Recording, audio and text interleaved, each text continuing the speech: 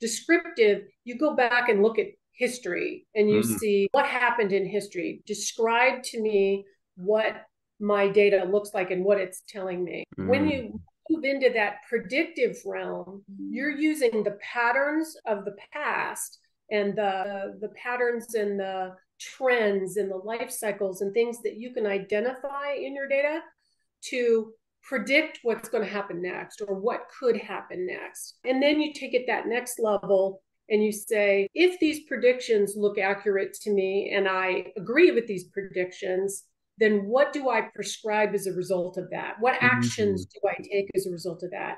And then yeah. you can start stepping into can I automate those actions?